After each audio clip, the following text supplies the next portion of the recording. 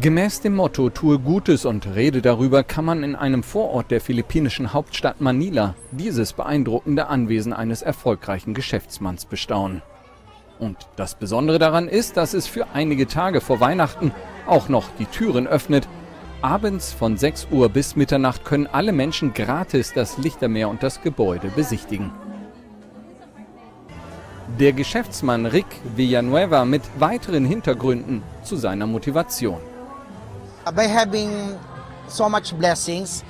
Da ich in meinem Leben mit so viel Wohlstand gesegnet wurde, habe ich das Gefühl, dass ich die Pflicht habe, dies zu tun und zu teilen.